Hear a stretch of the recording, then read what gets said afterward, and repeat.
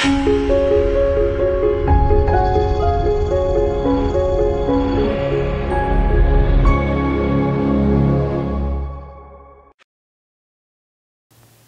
众朋友们，大家好，欢迎收看《外围读报》，我是 Echo。中共十九大落幕一周时，中共总书记习近平首次带领其他六名政治局常委，专程从北京前往上海和浙江嘉兴，瞻仰上海中共一大会址和浙江嘉兴南湖红船，从而掀起了各地红色圣地的参观潮。不仅上海、广东、江苏等多个省份的主要官员率队造访，民众也自发前往。就连习近平当年在深圳莲花山下种下的一棵树，也迎来了大批的参观民众。五日上午，河南省委书记谢福瞻带领省委常委前往兰考县，先到焦裕禄干部学院瞻仰参观。大河客户端报道，河南兰考县原县委书记焦裕禄当年亲手栽下的焦桐，与八年前习近平亲手栽下的习桐相互守望。河北省委班子向毛泽东、朱德、刘少奇、周恩来、任弼时五大书记铜像敬献花篮。一九四九年三月，中国七届二中全会在西柏坡召开。毛泽东要求全党在胜利前面要保持清醒头脑，在夺取全国政权后要经受住执政的考验，务必继续保持谦虚、谨慎、不骄不躁的作风。此外，澎湃新闻报道，连日来参观一大和二大会址的游客络绎不绝。就在习近平等领导人瞻仰后翌日，约有四千二百人参观中共一大会址，较平时增约百分之四十。而在中共四大纪念馆，两位讲解员嗓子都讲哑了，要馆长临时接替讲解。馆方称，几天来每天人数都在千人以上，至少要接待十个参观团，有些团人数达到三四百人。自从中共召开的十九大以后，郭文贵的热度大大减弱，可以说是正在逐步淡化于大众的视线里。他的 Twitter 账户连续被封了七次，他的 YouTube 账户也不允许直播。十一月七日，顾文贵再度接受一家积极挺郭的海外自媒体的采访。顾文贵在采访中说，明年三月全国人大会议召开前，他都不会爆料。他说，从现在到明年三月是新旧政府的交接期，他曾爆料的王岐山和孟建柱等人仍在政法系统掌握很大的实权。现在他们这些人正想利用他的爆料，把他引向反习主席的方向，他不会上当。他一再重复，他会坚持三不反。不反中国人，不反国家，不反习主席。今天他甚至声称也不会反党。日前，朝鲜正在大举拆迁中朝边境鸭绿江边的建筑物。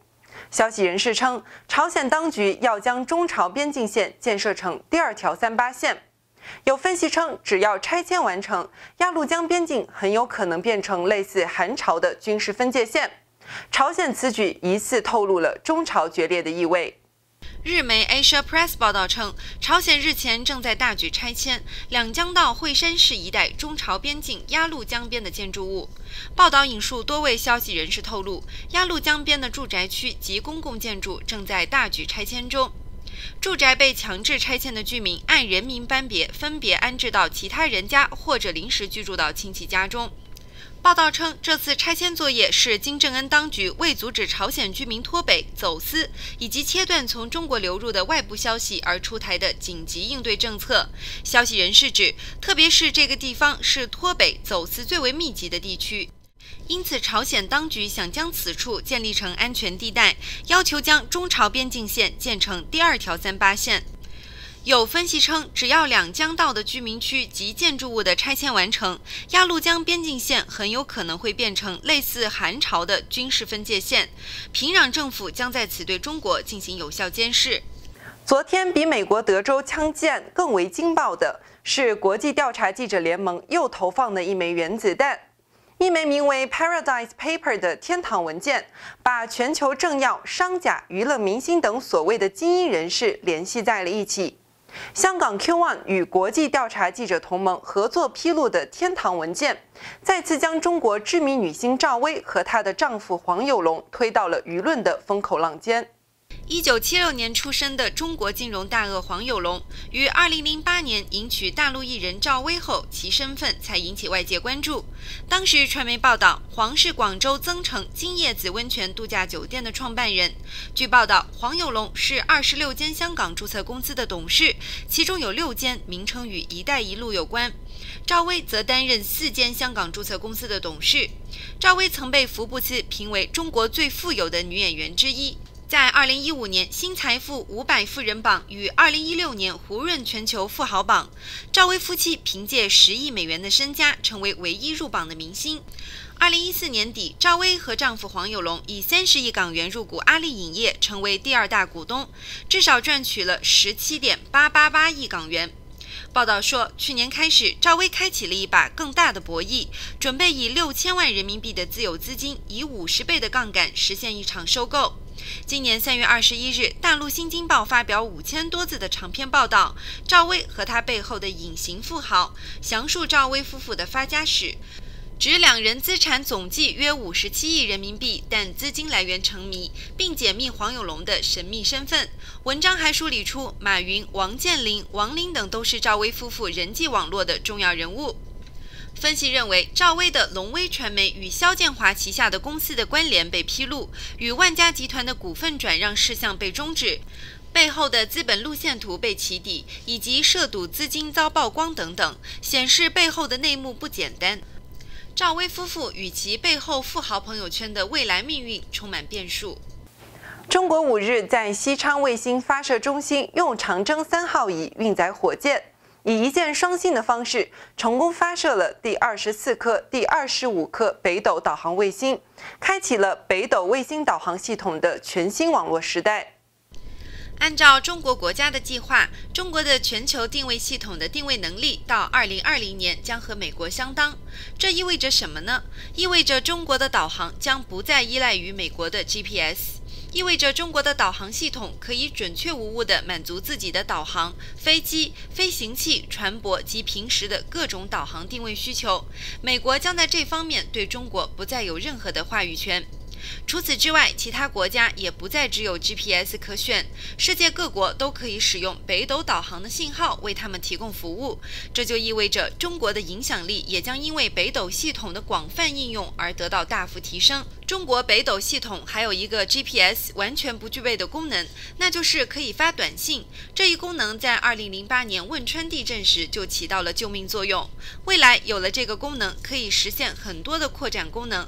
这是中国导航系统比 GPS 强大的地方。美国总统川普与日本首相安倍晋三在两天的会谈中确定，要对朝鲜施加最大压力，遏制朝鲜核武器和弹道导弹发展。川普还建议日本可以使用美国制造的武器击落朝鲜的导弹。川普在星期一的记者会上公开表示，他与安倍首相都认为，如果朝鲜试射导弹飞越日本领空，日本可以使用美国产的武器击落朝鲜的导弹。川普说，安倍首相在增加购买很多美国军事装备后，他会直接把朝鲜的导弹直接从天上打下来。就像我们前几天在沙特阿拉伯进行的空中拦截那样，你们都看到了。川普指的是沙特军方上周六拦截从也门发射的一枚弹道导弹。美国总统川普首度访问日本，下午与日本首相安倍晋三会谈，双方在共同记者会中强调，日美将会共同主导并与国际社会紧密合作，对朝鲜施予最大限度的压力。川普表示，朝鲜进行核武试验，朝向日本领空发射弹道导弹，对国际社会的安全造成了重大威胁，绝不容忍。战略忍耐的时代已经结束了。他强调，不是自己的发言太强硬，而是美国在过去二十五年的发言都太过软弱。驻日美军有五万人，驻韩美军也有三万三千人，美日将共同为两国的防卫合作努力。不过，面对记者提问是否可能直接对朝鲜动武，川普并没有直接回应。安倍则表示，在这两天双方屡次接触中，充分的时间分析了朝鲜的最新形势，对今后的方针见解完全一致。日方一向支持川普将所有选项摊在谈判桌上的立场。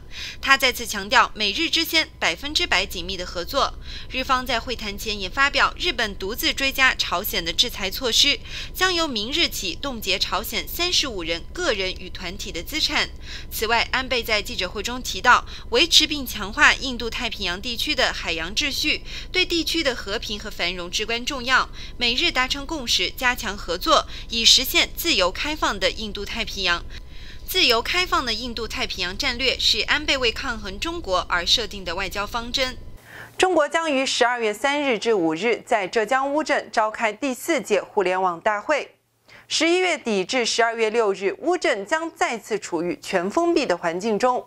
有网友认为，中国的围墙越来越高，世界互联网大会实质是局域网大会，应当予以抵制。此次大会将以发展数字经济、促进开放共享、携手共建网络空间命运共同体为主题，围绕数字经济、前沿技术、互联网与社会。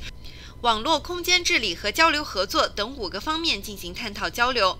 近年来，当局对网络的管控不断加强，不久前还屏蔽即时通讯软件 WhatsApp，引起很多网民不满。深圳网民就认为，中国的互联网是局域网，对其召开的互联网大会应当予以抵制。本身中国就是个局域网，根本不能连通世界。中国的互联网是隔断连通的互联网，不是加速世界信息传播的互联网，应该抵制才对。世界各国不应该来参加。以上就是今天的万维读报，谢谢您的收看。如果您喜欢我们的节目，别忘了点击右下角订阅我们的频道。我们下次再见。